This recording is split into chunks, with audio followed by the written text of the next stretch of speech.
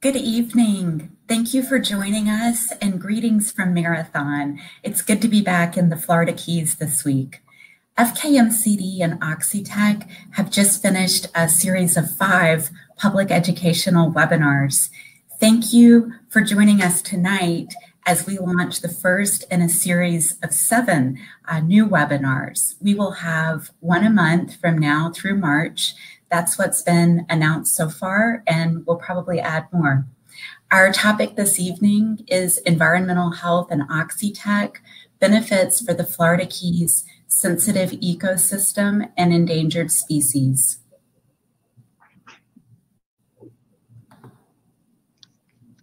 Presenting tonight, we have Andrea Leal, the Executive Director of the FKMCD. I'm Meredith Benson, Oxitec's Head of Public Affairs and a Florida native.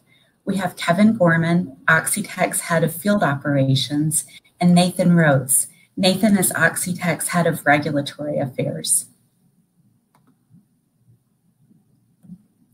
We are hosting this series of public educational webinars to share information with residents of the Florida Keys and provide forums to answer questions. All webinars are open to everyone. All webinars are recorded and made available for everyone after the event. All questions will be answered. We may group similar questions together and we will prioritize questions that relate to tonight's topic. If time runs out, we will accept questions in writing via florida at oxitec.com. Questions and answers will be published in writing after the event with links to external resources. And all of this is provided on our oxitec, oxitec.com forward slash uh, Florida page. Just to give you a preview of what is upcoming, in October, we have Human Health and Oxitec, the safety of Oxitec technology. In November, we will have a virtual tour inside Oxitec Labs, and we're pre preparing that content now. It's exciting. Uh, and then in December, we'll look at what's in the box and how Oxitec's Just Add Water technology helps control the Aedes aegypti population. Our agenda uh, tonight includes health, economy, and the environment, the spread of the invasive disease carrying Aedes aegypti mosquito, rising insecticide resistance, and the benefits of Oxitec's targeted biological control solution. We'll look at regulatory findings, and then we will spend the um, second half of, of, of this hour, so, so the, the, the last 30 minutes um, taking your questions and we'll provide answers. I'll now turn it over to Andrea for the next part of our presentation. Andrea? Okay, thank you, Meredith. Um, and good evening to everyone out there. Really appreciate you joining in um, to learn a little bit about this project and then answer any questions that you guys may have. Um, one of the main questions that I know that we get quite frequently at the district is you know why why now um, why are we looking at this technology or why are we looking at really any of these new innovative technologies?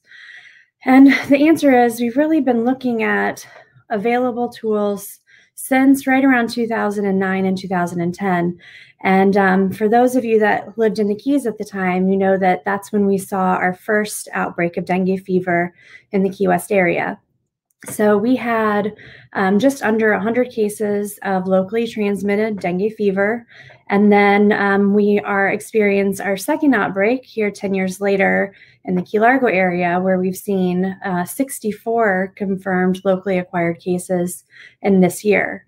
So, um, you know, disease issues are always something that has been on our radar at mosquito control um, you know, specifically Aedes aegypti, because they are uh, carriers not only of dengue fever, but, you know, in 2016, we saw the introduction of Zika in South Florida, with Miami Dade seeing um, hundreds of cases of Zika, um, chikungunya as well, and yellow fever. So um, we really need to focus on controlling uh, those Aedes aegypti mosquitoes. So you'll kind of hear a lot about Aedes aegypti, and um, you know, as when I first came into mosquito control, you know, I thought a mosquito is a mosquito, but we actually have about 45 different species here in the Florida Keys of mosquitoes. So we're really focusing in on Aedes aegypti specifically.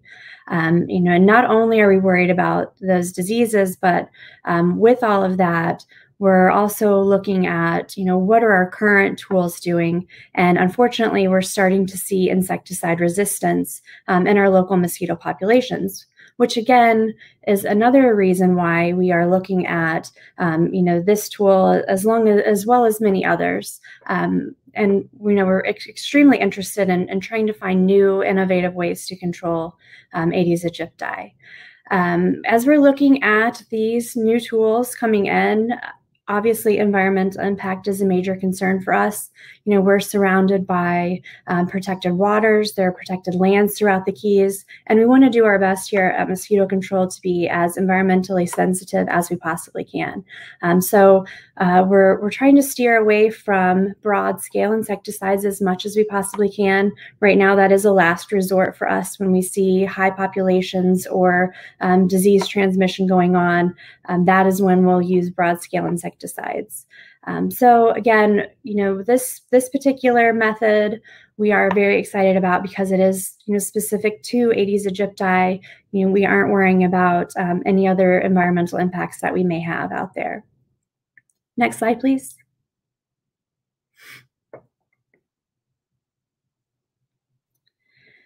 So a little bit about Aedes aegypti specifically. Um, it is not native to the Florida Keys. Uh, it comes from Africa and has actually kind of moved around um, the the entire globe over time, um, and we continue to see it moving as uh, warmer weather continues, uh, moving up in the United States specifically. So, really, we're focusing on control of an invasive disease carrying species. Um, another common question that we get is, you know, what happens when we remove Aedes aegypti specifically from the environment? And um, I think it's, you know, a great question. And when you're looking at the mosquitoes in the Florida Keys, we're really only looking at between, you know, two and four percent of our mosquito population is Aedes aegypti. Know, the main mosquito that we see is the salt marsh mosquito, and that is the mosquito that's really important to our environment down here. So the mosquito larvae uh, in the salt marshes will feed uh, fish, aquatic insects, etc. And those are also the major biomass. So as we're talking about uh, birds, other insects, um, bats in other areas, you know, those are the type, those are the mosquitoes that we're really looking at uh, part of the food chain. So we're focusing on an invasive species uh, that is, you know, very small population comparatively in the Florida Keys, um, and again uh, is really the major cause of diseases uh, in our area specifically. Next slide, please.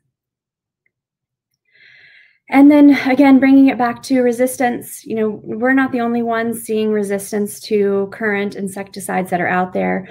Um, the University of Florida has put together uh, quite a bit of compiled information over the last couple of years showing resistance that's occurring uh, throughout Florida and, you know, really throughout all of the places that these insecticides have been used.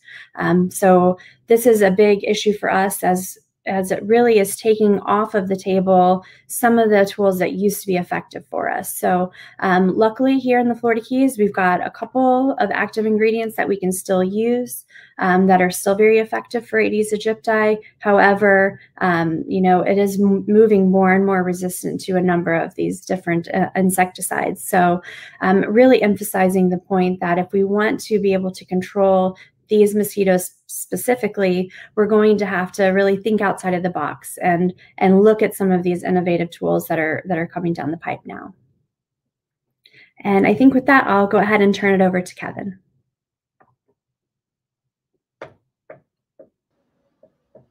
Uh, thanks, Andrea. Uh, that was great. Super, super comprehensive, and uh, and really touches on a lot of the slides that uh, I'd like to present. Um, I've got a few slides here, and this first one um, with just really as a recap uh, for most people, I imagine, but maybe uh, new information for some. Uh, and it really just talks about the, the different benefits and the different features uh, of this particular biological control tool uh, known as OX5034. Uh, this is Oxitec's second generation Aedes aegypti. So this product, as we'll call it, um, is essentially a male-only mosquito. Uh, we are able to put eggs into a box with a just of water approach. And because uh, we have a self-limiting gene which kills females, uh, only males survive. And those males are able to release themselves out of that box, giving a very hassle-free, um, easy uh, operational approach to releasing this this biological tool. And often biological tools, you know, are a little bit more complex uh, than some other traditional tools and, and can be quite costly uh, to release operationally. And so this really, really transforms uh, the scalability and accessibility of biological tools or, or this particular one. So some of the key features are that it, it's that male only release. It's pure male releases and we can't really release female we can't release females even if we try from these boxes so so um, it becomes a very low tech uh, very uh, foolproof system uh, for releasing pure male cohorts of 5034 Aedes aegypti. Uh, it gives very targeted suppression, as, as Andreas talked about. It, uh, it is a mating-based technology, so it only affects this, this particular species. There's no direct or indirect impacts on any other species out there because it's just such a low level of, of, of food for any other uh, uh, items, uh, animals in the food chain. And, uh, and as I mentioned, because it's got that species specificity due to the fact that it's a mating-based approach. So our males are released from the boxes and they go out and they mate with wild females and those wild females can't produce female offspring. They do produce male offspring and those male offspring uh, work in the same way as our release males, uh, mating with more wild females and giving us uh, improved efficacy and uh, more bang for our buck, if you like, uh, with lots of off male offspring uh, working for each male parent that we release. It's safe for the environment, as I mentioned. It's non-toxic, it's non-allergenic, and many regulatory agencies around the world uh, including many, including federal and state regulators uh, in the US, have determined that this is safe to humans, to the environment, and to animals. It's traceable in the field. Uh, we have a fluorescent marker which is uh, ingrained into the mosquitoes. Uh, it's inherited along with the self-limiting gene, and that expresses in all life stages of both males and females. So that enables us to track uh, males or females, uh, and uh, uh, females, of course, aren't produced, but it allows us to detect them should they be produced uh, at any life stage, larvae, pupae, or adults. This is a, a great convenient tool for surveillance because it allows us not only to just track and trace and see where our mosquitoes go, which is, of course, very useful and interesting, but it also allows us to assess the performance, to see how well we're doing, and to see what percentage of the population uh, we're actually managing to control. And then we can adjust the rate accordingly, maximizing efficiency and ensuring that uh, we really do uh, give a very cost-effective solution. It's self-limiting uh, because the males themselves uh, are the only ones that carry on that that that, uh, that phenotype, that that gene to their offspring uh, the females die, and each generation uh, it uh, reduces by half in terms of its uh, frequency. So, in a half life fashion, it dies out over the course of about five to 10 generations. You can see uh, a picture of the box there in the bottom left hand corner, and the capsuled eggs uh, also on the left hand side, and the various life stages with the fluorescence marker lit up in the right hand pictures.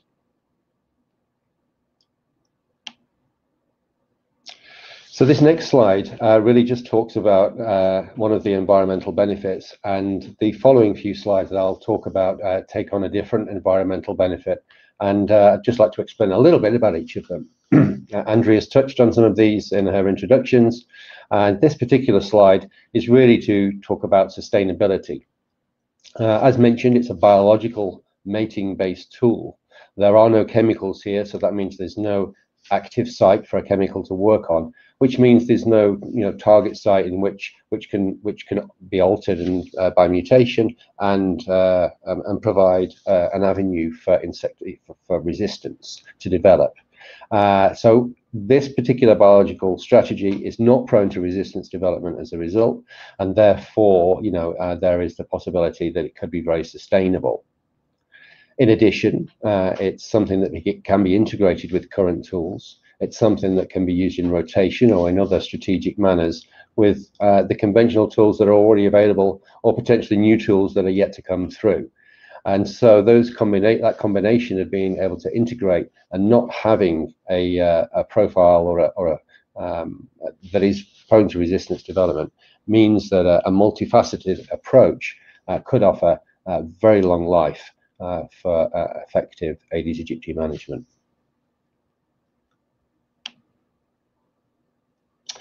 Reduced reliance on insecticides. Um, insecticides have their place. Uh, they can be extremely useful. Where would we be without them? To be honest, uh, over many, many decades now, they've played a, a, vital role in public health, in agriculture, and a number of areas.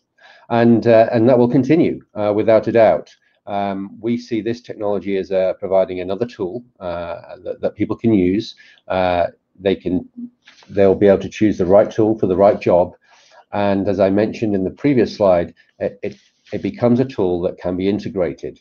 So there's the possibility of a true integrated strategy to, to be developed, in which case reliance can switch from one tool to another. Um, reducing reliance on single tools means that resistance is less prone to develop. And um, very interestingly, 5034, when it suppresses the population, it will introgress insecticide susceptibility into the population. And that itself can actively reduce insecticide resistance just through sheer dilution uh, with susceptible genes. So the combination of, of a reduced reliance on insecticide or reduced use of insecticide, which will slow resistance development, is synergized by this effect of resistance dilution using OX 5034. And the combination of these things mean that the reliance on chemicals can be reduced and the effectiveness of chemicals can be increased.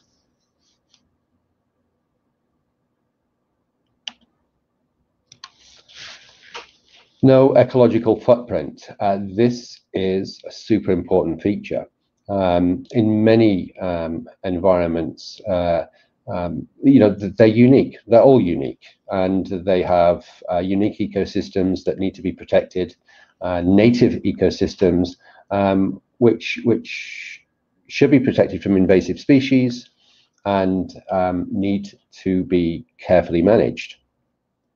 In this case, um, we see uh, this is a biological approach which leaves no, which has no persistence, no long-term effect. These males die out uh, in a half-life kind of fashion. It's only releasing males. There's no persistence of the transgene. And although uh, we intentionally introgress some of the insecticide susceptibility and background genes, uh, there's no uh, uh persistence of, the, of those introduced genes. And so uh, once we've stopped releases within a very short space of time, just a matter of a few generations, uh, our males have disappeared and the, the, there is no trace left in the environment in terms of our introduced genes. So what that means is that um, um, there's no long-term effect like some strategies. There's no direct effects on the rest of the ecosystem.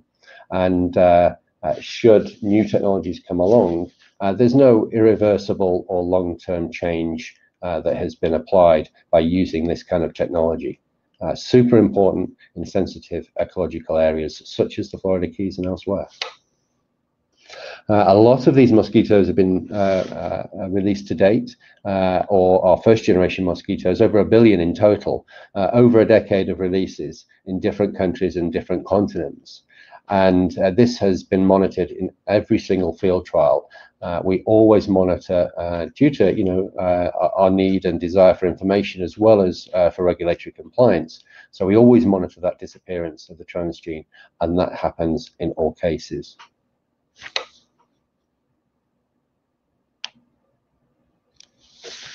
Another environmental benefit is the potential to restore native ecology and habitat. Um, as I mentioned and, uh, and, and Andrea talked about earlier, uh, it is an invasive species. It's more recently, most recently, you know, the last couple of hundred years, it's moved around the world, uh, primarily due to the movement of, of, of people and transport uh, that human traffic and trade has has has uh, provided uh, vehicles for Aedes aegypti to invade new areas, and of course, then there's climate change, which also allows uh, Aedes aegypti and other species to expand their distributions and host ranges. And that's certainly the case with Aedes aegypti, which is expanding seemingly year on year.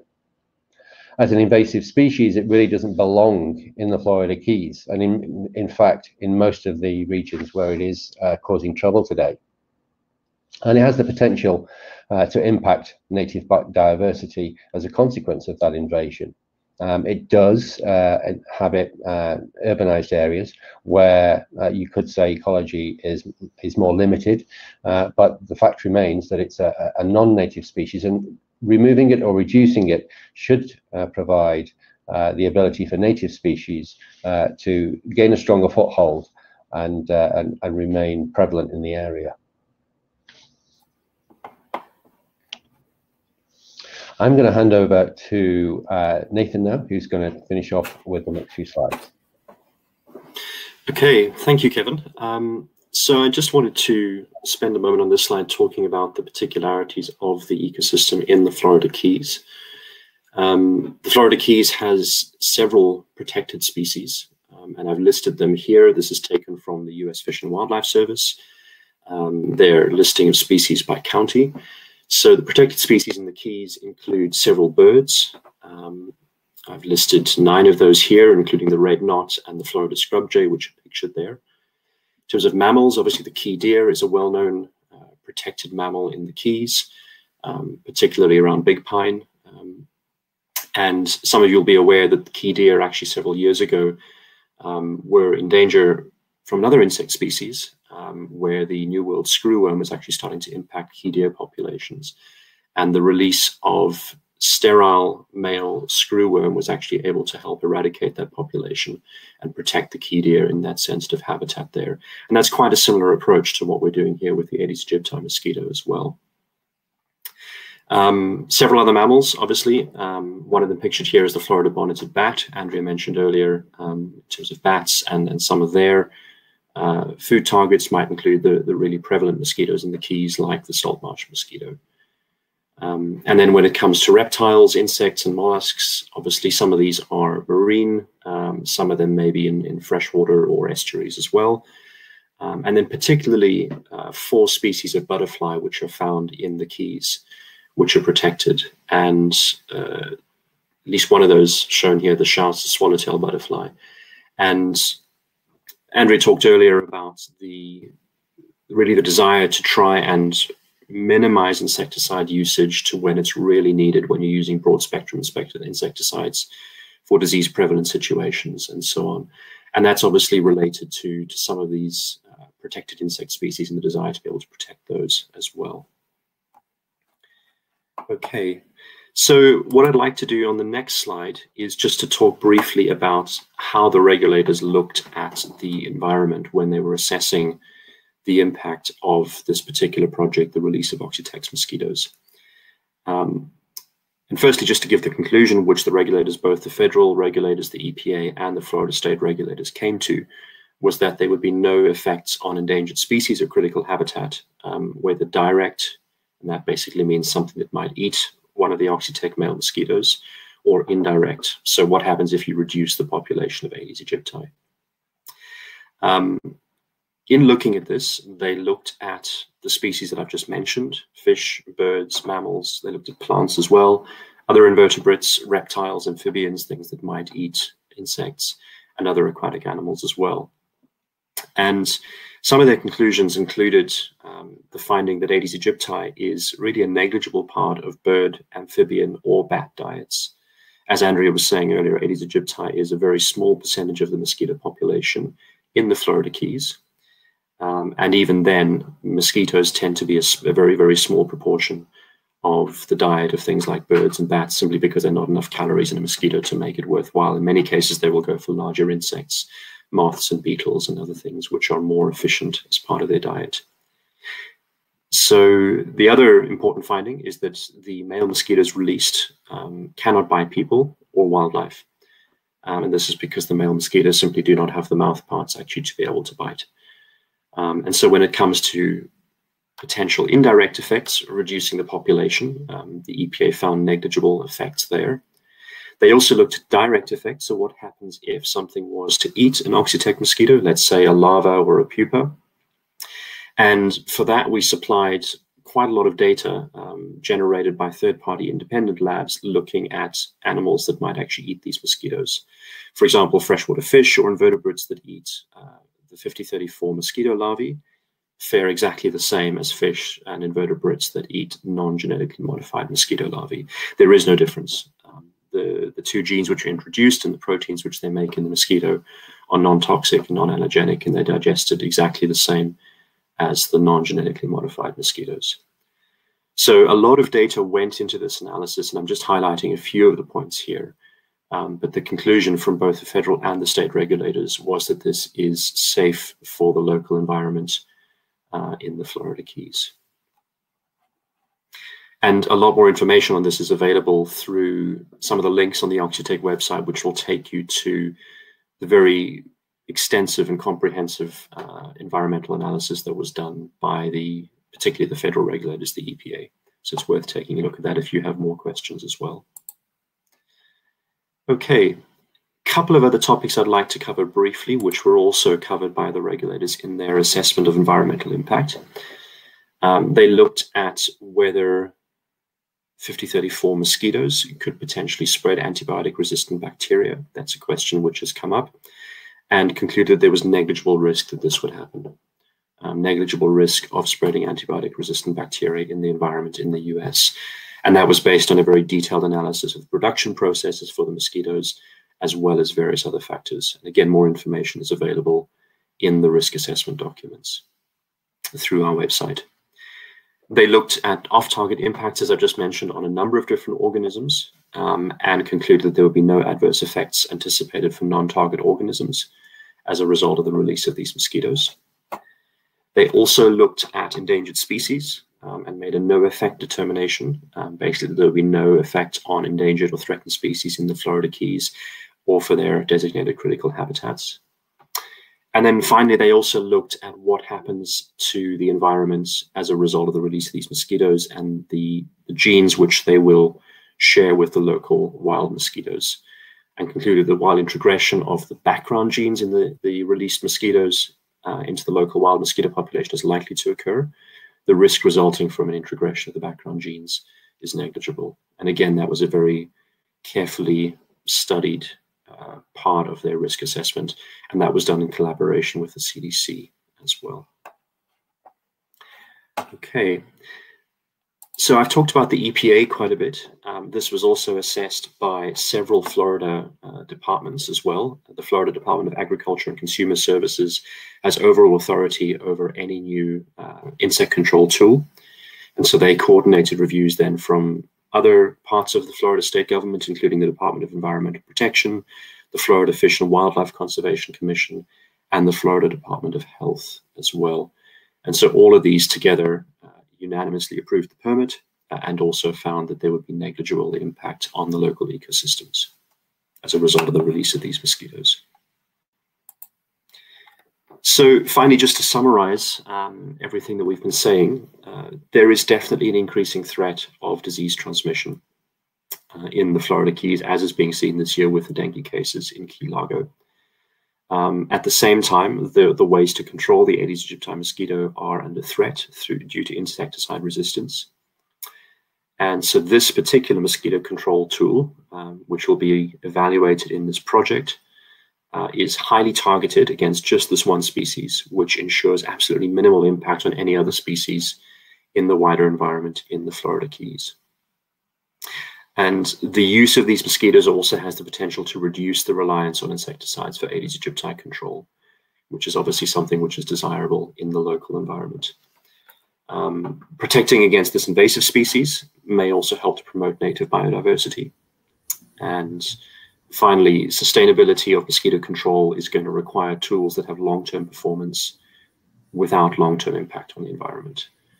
And we think that this particular mosquito control tool has the potential to provide that. And that's certainly what we see from our projects using this tool in other parts of the world, particularly in Brazil. Okay, I'm going to pass this back to Meredith at this point. Thank you, Nathan. We'll start with our questions now. I, I, should have said earlier, we are not going to identify who is asking uh, the questions. We, we want you to feel comfortable to ask anything at all you are curious about. So please send your questions in. We, we will not identify um, who, who is asking the questions. We've received a number of questions, so we'll start answering them now. Uh, the first question I can answer, the question is, what is the email address to ask questions? Um, the email address that, that we've established to answer questions about this project is florida at oxitec.com. And I believe FKMCD also has an email address that, um, that, that people can use. Andrea, could you let us know what that is? Yes, it's questions at keysmosquito.org. Great. So we've got questions at keysmosquito.org and florida at oxitec.com. And the second question is, and I'll, I'll send this to either uh, Kevin or Nathan. You, you guys can de decide who, who wants to take this one. The question is, can you explain how the two genes in Oxitec mosquitoes do not persist in the environment? Um, do you want me to take that or do you want to take that, Kevin? Uh, yeah, please go ahead, Nathan. That's great. Okay. So the genes that are in the mosquito, um, as we've described, will ensure that any female mosquito that inherits those genes will die.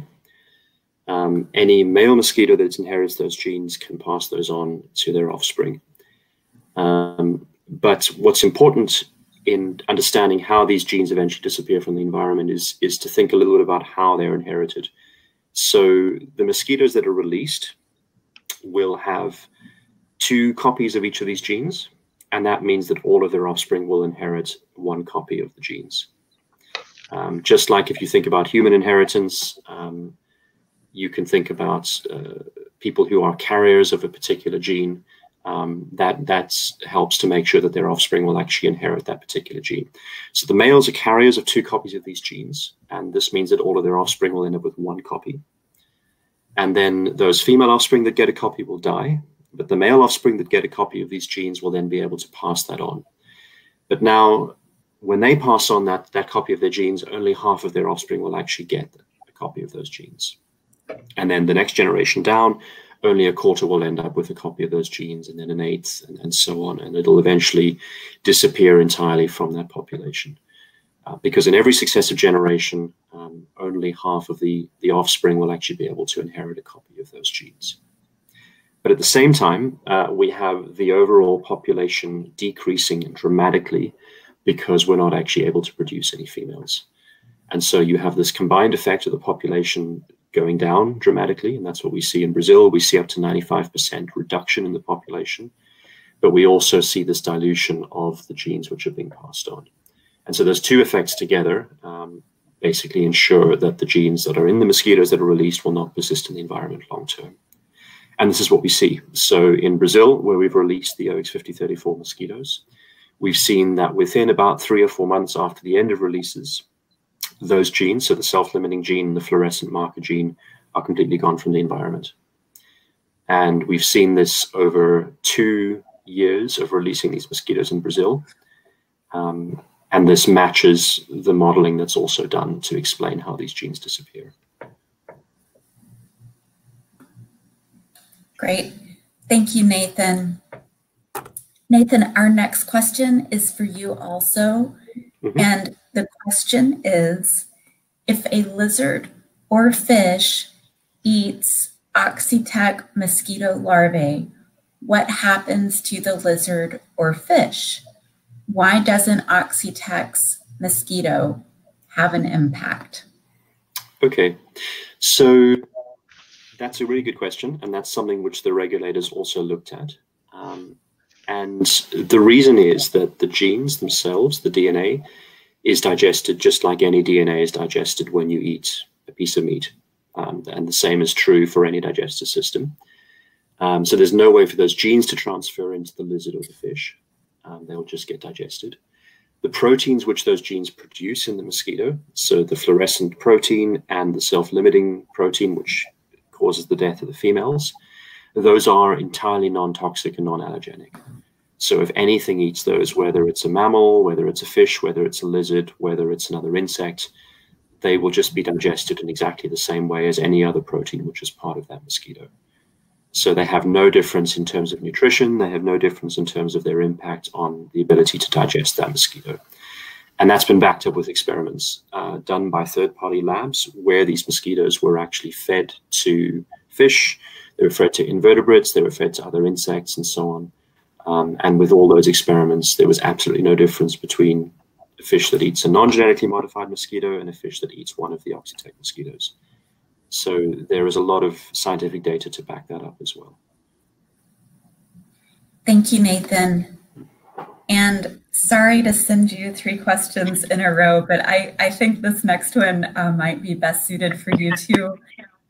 The question is, can you explain more about why mosquitoes develop resistance to pesticides? Why don't Oxitec mosquitoes generate resistance? Okay, that's a great question. Um, so I'll, I'll, start just by talking a little bit about how resistance to insecticides works and, and how it can develop, and then I'll talk about Oxitec after that. Um, most insecticides are chemicals, and so they're a bit like drugs for humans in the sense that they are designed to target a particular part of the mosquito's cell or a particular protein that's in the mosquito uh, or a particular neurotransmitter that's in the mosquito. Excuse me.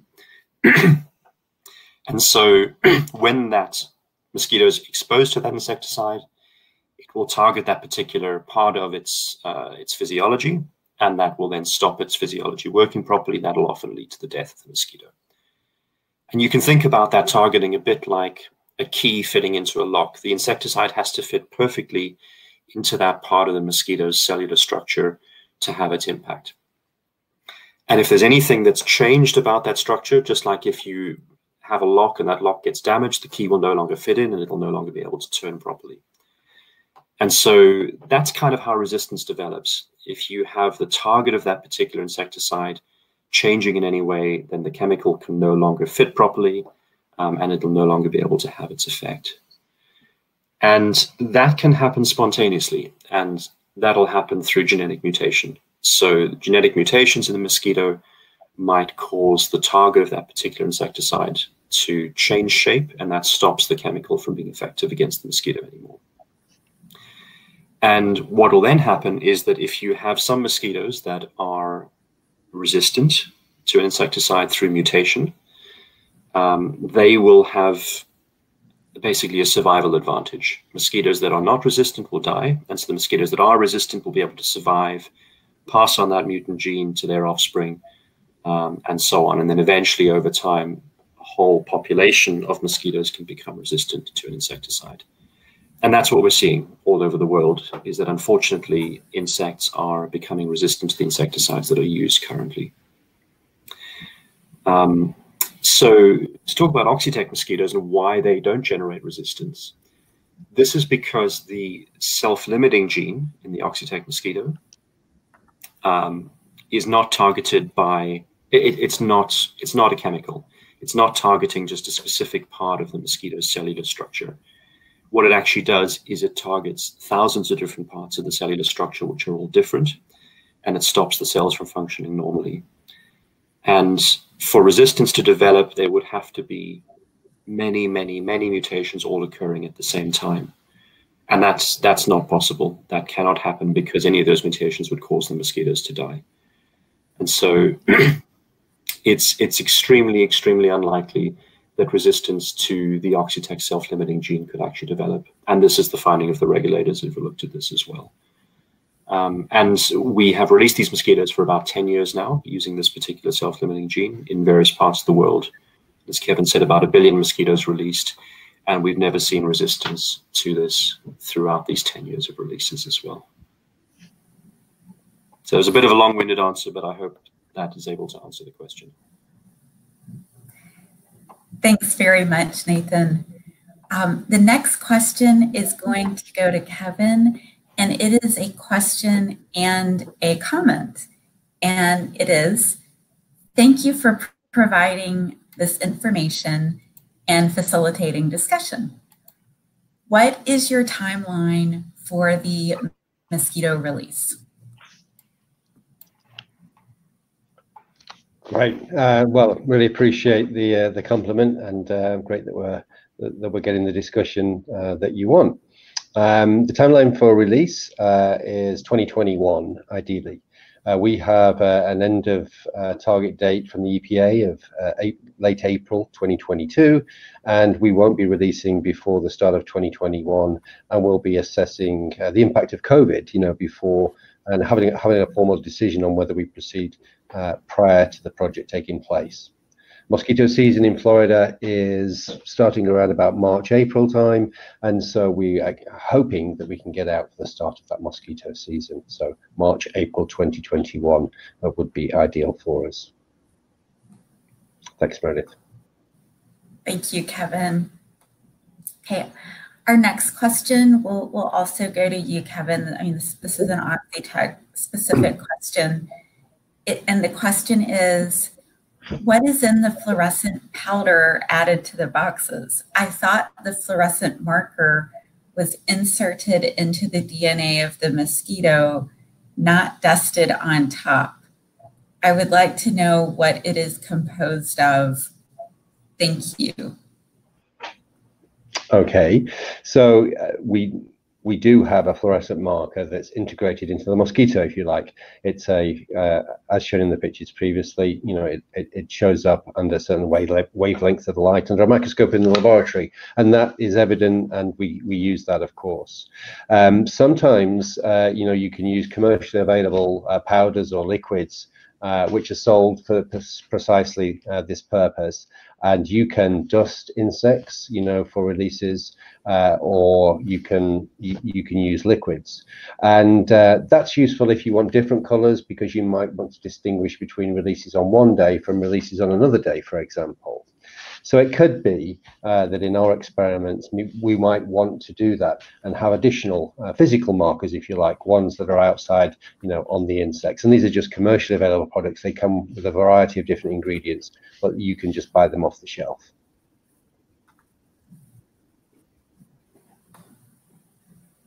Okay, thank you very much, Kevin. Um, the next question is going to go to Nathan.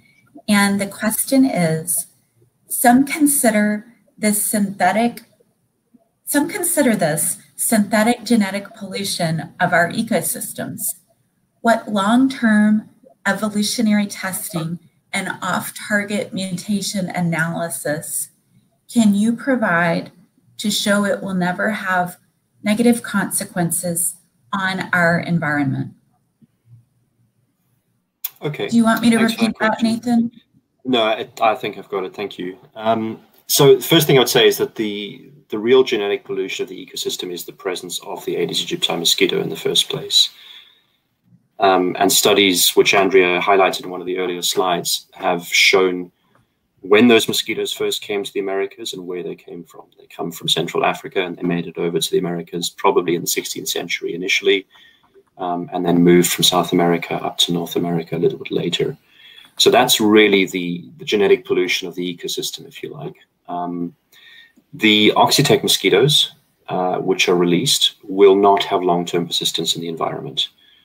Um, and so that there is no synthetic pollution of the environment, and there are also no long-term impacts. Um, and that's something we've monitored in every single field release so far in other places.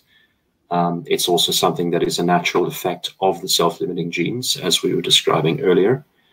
Um, and it's also something that's been studied by other scientists, not Oxitec scientists. For example, a study that was published last year on Oxitec's first generation mosquito in Brazil showed the same thing, that there was no long-term impact of the either the, the, the self-limiting gene and the fluorescent gene, those were gone very quickly, and even the background genes, which are introgressed, were disappearing within about two years as well. So there is no long-term persistence, um, and that's that's something which has been looked at very carefully by the regulators as well. And so the data that they looked at is available in their risk assessments, which are available through the Oxitec website, which will take you to the EPA list of documents as well. Um, okay. Thanks very much, Nathan. The next question is for you also. Um, then I promise the one after that is, is going to Andrea. Um, but this next question, Nathan, is Does Oxitec need to conduct controlled biological tests on the endangered species down here who eat them or can be bitten by those females that don't exist to show that the mosquitoes won't have, have an impact on them. What are the many, why are the many tests that the EPA required of Oxitec sufficient? Do you want me okay. to replace that, Nathan? Uh, no, I, I think I've got. I think I've got that. Thank you. Um, so does Oxitec need to control control need to conduct controlled biological tests on the endangered species? Uh, no, that's not something which is permitted. Um, instead, what is done in any type of science is that instead you will carry out tests on what's called a model species, something which is close enough to all of the other species. So you might choose a particular freshwater fish, which will then represent freshwater fish more generally or you might choose a particular insect which is representative of other similar insects. And so that's standard in the sciences is that you choose a species which you can actually uh, handle in the lab and which you can do experiments with, and also a species which is not rare or protected. And that's a responsible way to do the experiments. And so what the EPA required of Oxitec was to do experiments on these model species to show that there was no impact on them when they eat Oxitec mosquitoes. Uh, and so I've talked about those already, but those include things like freshwater fish and invertebrates and so on.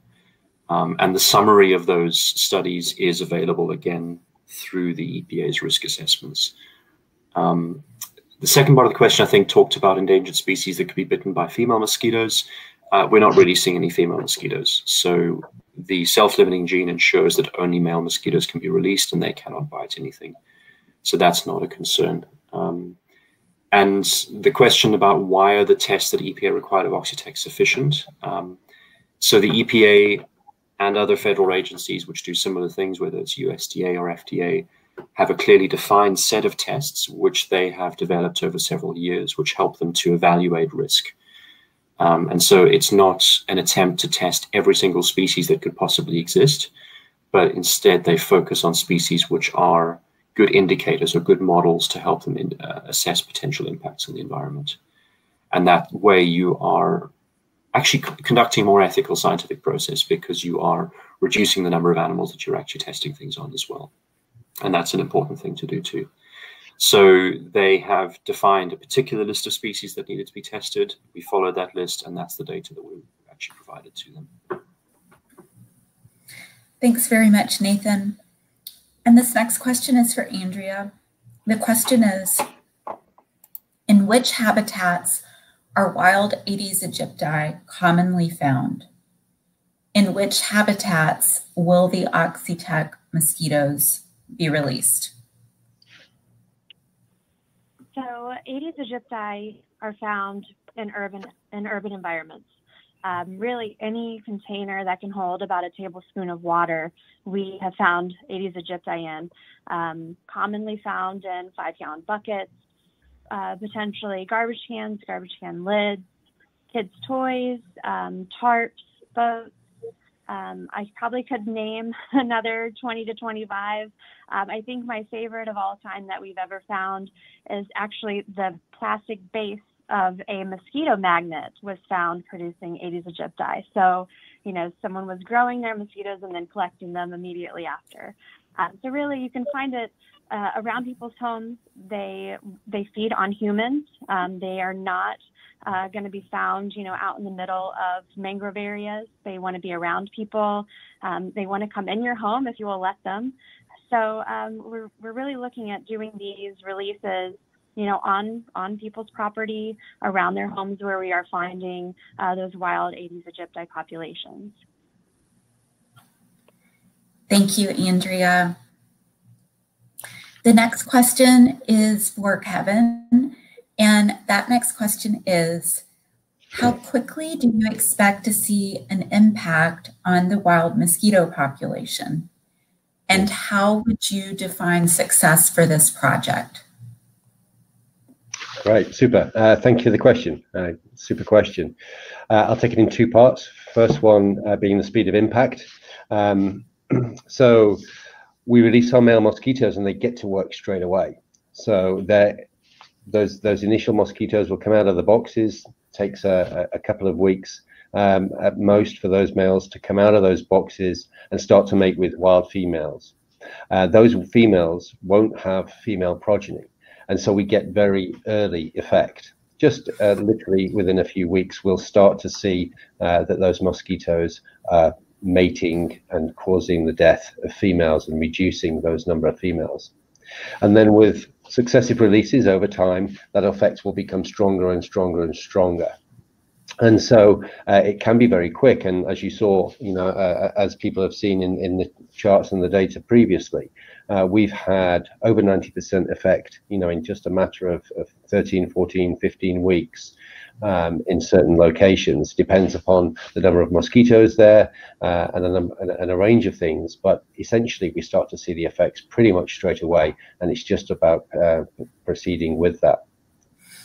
Uh, in terms of success of the project, well, I'm gonna um, I'm gonna lean on Andrea a little bit here because at the end of the day, it's about making the tool uh, available and, uh, and, and workable uh, for, for, vector control districts. And so, uh, of course, we love to see a really strong level of suppression to demonstrate that the technology works really well. But maybe Andrea, um, you know, you could say a little bit about the kind of you know uh, percentage kills that you get currently uh, with tool and um, you know how you know what you might be looking for in a new tool. Well i think ultimately you know it's it's a matrix of all things. Um, you know once a product is commercially available uh, the district does an extensive cost benefit analysis. So how well does it work? Um, and how much is it going to cost us? And is it worth it? Um, so really those are all the things that we're going to look at with this project um, at the end of the day. Um, some of the newer things that we've started doing for Aedes aegypti control have shown um, control of just over 50% of populations um, you know, is that an acceptable level? Well, at the end of the day, it depends on how many mosquitoes we're collecting in those traps. And if we can remain below what we consider the, the disease transmission threshold. So um, it really is going to be a, a, lot of information that we're going to collect and um, ultimately sit down and say, is this, how well does it work? And is the cost um, worth that? So um, I think that you know we're we're quite a ways out before making decisions like that. Um, but you know we've got to start here. We've got to know does it work here, and, and what kind of levels are we seeing of it as far as effectiveness. Thanks, Andrea. Thanks, Andrea and Kevin. Our next question will go to Nathan. And Nathan, the question is, what third-party labs tested sensitive species and where are the studies for toxicity and other negative effects due to consumption? Okay, thanks for that question. Um, so first of all, just to say the studies that were done were, as I mentioned earlier, requirements from the EPA. Um, and those were to, to basically assess what happens if, if particular species eat these mosquitoes. Um, and those studies found that there was no negative effects on those species. Um, those studies were done by uh, independent labs uh, in the UK and other parts of Europe. Um, and basically, these are trusted laboratories that have a track record of doing these kind of studies in a robust scientific way um, and generating data that is of good enough quality to be assessed by regulators. And so that's what we did in these cases is we found labs that would actually be able to carry out these studies effectively. Um, and the, the studies themselves, the summaries of, of the data and so on, again, those can be found through the EPA website. Uh, follow the links from the Oxitec website if you want to see those. So I hope that helps. Thanks very much, Nathan. Thank you. This next question, uh, I'll send it to Andrea first, and then Kevin, you may you may wish to add some things. But Andrea, to start, the question is, can you expand on why the Florida Keys is the first region in the US to release Oxitec mosquitoes? Is it because there is a mosquito control board to liaise with, or is there something about the region itself? so we really first looking at this technology um, back when we had uh, our dengue fever outbreak in 2009 and 2010. Um, I actually ran into uh, an Oxitec employee at, I think it was the American Mosquito Control Association's annual meeting. Um, and really, that whole meeting, I think I, I, definitely spent most of the time talking with folks that were, you know, Mexico, South America, people that that deal with these disease outbreaks on a regular basis, um, which you know we really had never done before, um, at least not in the Florida Keys. Um, I think our last dengue outbreak was mid mid 1950s. So um, so really, just trying to gather information on on how people were approaching the Aedes aegypti problem, and um, you know I I saw a presentation on this technology, and we really just kind of started, um, you know, talking from there, interested in, you know, what was going on and and how potentially in the future and you know now 2021 um, we could collaborate on a project. Thanks, Andrea. Anything to add, Kevin? Um, well, that was great. I think that that tells the story on the specific case. I mean, I, I would say that um, you know Florida is kind of on the top of that northern distribution uh, of the species as it stands at the moment. And as such, uh, you know, it's a bit of a gateway, if you like, you know, into the US potentially for diseases as they maybe get imported. Um, and the mosquito is well established year round potentially in this region. So it's always nice to be able to um, have an impact in those areas where where, where it's most needed. And uh, and in terms of the US, the Florida is probably Florida is probably the the area that um, that is most uh, at threat or at risk of disease transmission by Aedes aegypti. Thanks very much, Kevin and Andrea. The next question will go to Nathan. And just to say, we've got about three minutes left, and we also have three questions left. So we might go over just a bit, but we're going to try to work through these last three questions. So the last question, or sorry, the next question for you, Nathan, is Are you worried that um, the Brazilian biologist Warwick Kerr experience in 1950 will happen again? He crossed the African bee with native European bees, and the result was an aggressive and difficult to control, I guess, bee. Um, it says, and then they wiped out the native bees. Do you need me to repeat that, Nathan? No, I think that that's that's fine. Thank you. Um, yeah, so that was a pretty bad experience. Um, it's exactly as described there. He crossed a fairly aggressive African bee with native European bees, and they escaped from quarantine in Brazil uh, about 70 years ago. No, I'm not concerned that that's going to happen here because this is a very different situation. Our mosquitoes are actually designed to die. Um, those bees survived and spread because they were more fit and because they were able to outcompete the the wild bees there. Uh, Oxitec mosquitoes are the exact opposite of that. They're actually designed they have a, an inbuilt kill switch for the females, if you want to call it that. Um, and so we see rapidly plummeting populations when we release our mosquitoes rather than rapidly spreading populations. Um, and that's obviously why they've been designed in this particular way. It's because we want to actually reduce the population of the Aedes aegypti mosquito. So uh, this is a very, very different situation to that. Thank you very much, Nathan. The next question is for you too. And the question is, how does Oxitec compare to Wolbachia in terms of environmental impact? Okay, so Wolbachia is another technology which also tries to stop mosquitoes from actually producing viable offspring. Um, and Wolbachia is a bacteria which uh, is used to infect mosquitoes. And if you release male mosquitoes that are infected with Wolbachia um, and they mate with uninfected wild females, then their offspring will not be able to develop either. Um, and so, in a sense, it's, it's the environmental impact is going to be similar to the Oxitec mosquito. Um, neither of them will, will persist long term in the wild. Um, both of them will be species specific, targeting just the Aedes aegypti mosquito as well. And so, direct and indirect effects on other species in the environment will be very similar as well. Um, the difference is really going to be around whether Wolbachia mosquitoes are um, as easy to deploy as the Oxitec mosquito. And that's something where we think probably it's going to be easier in the long term to deploy the Oxitec mosquito in the field because you can basically put the eggs in a box and add water. With the Wolbachia mosquito, you need to produce the adult mosquitoes in a facility and then release the adult mosquitoes. Um, and that just makes it a little bit more challenging. Um, but in terms of the environmental impact, I'd expect them to be pretty similar.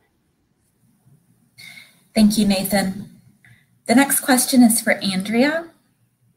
Andrea, the question is, organophosphate chemical spraying will continue during this trial. Please explain how this resolves the organophosphate resistance issue. Why not stop spraying during the trial? So I think the um, the main point I want to convey with that is we're not doing this this particular project to um, you know solve the resistance issue. We are um, conducting this project to reduce the population of Aedes aegypti. And when we're looking at any of these tools, we want to make sure that we can integrate it into what we're already doing. So the majority of our um, organophosphate applications are occurring due to salt marsh mosquitoes. Um, and we don't anticipate our salt marsh mosquito numbers to be down uh, during this trial. Uh, it will be conducted during, you know, the height of mosquito season. Um, so, you know, we want to make sure that, you know, we can continue controlling mosquitoes to the best of our ability. Um, and to do so, we will need to continue spraying. Now, this this particular project is going to be set up to make sure that whatever's occurring in release areas is also occurring in, um, you know, what we're considering control areas, so non-release areas. That way, um, if we are spraying, we are treating both areas exactly the same. That way we know if any, uh, if the reduction occurs that it's not due to, you know, insecticide spraying in one area that didn't occur in another. So um, that's really the important part is we need to make sure that we're, we're treating all of the release and control areas exactly the same. Um, but at the same time, we need to make sure at the mosquito control district that we are continuing to do our best to protect our citizens and our visitors. Thank you, Andrea. Uh, now we're we've come to our last question of the evening, and Nathan, Nathan, this one is going to you. The question is: It says question for the panel. In your vast experience in this field, which hurdle is more rigorous, an independent scientific evaluation or EPA approval of an experimental use permit? Um, so I, I, would say definitely the EPA. I think the the list of studies, the amount of data, the rigor of the review from EPA is is pretty much unmatched. Uh, they take the job very seriously. Um, they are very good scientists, and I think that they they were very very careful on assessing this particular project. Um, EPA is also the same. It's the same group of scientists actually that assessed the Wolbachia mosquito projects that have happened in different parts of the U.S., including the Florida Keys. Um, and so they are experts when it comes to assessing mosquito control tools, uh, whether it's the Oxitec mosquito, whether it's Wolbachia, whether it's other kinds of technologies as well. Um, but they were extremely rigorous. Um, and I've done a lot of other academic publishing and, and so on, a lot of independent scientific reviews. I would still say EPA was more rigorous overall. Thank you, Nathan. Um, so this is the end of, of our questions, and I'd like to invite Andrea and Kevin to make any closing uh, remarks. Um, yeah, I just again want to thank everybody for their time. Um, we want to make sure that we're reaching as many people as we can, answering questions, um, explaining what we're doing, uh, and and really being open with this project.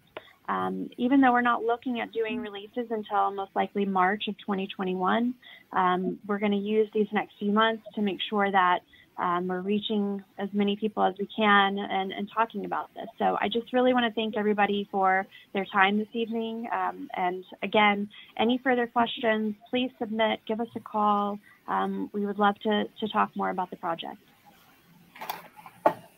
Super. Uh, thanks, Andrea. Yeah, I, I, would I would emphasize the same. You know, just to say thank you for everybody and their time. Uh, it's great to get such good questions. It really uh, it really makes this worthwhile for us. Uh, and if anybody has further questions, just please feel free to use one of the contacts uh, available. And all of the information is available on oxitec.com slash Florida. So please just, you know, don't hesitate to go there. You'll be able to get all the regulatory documents, all the publications, and also have access uh, to both Oxitec and FKMCD staff, uh, where you can post further questions and get responses. So uh, yeah, just a great big thank you. Great. Thanks, everybody. We hope you can join us again next month. Have a good evening.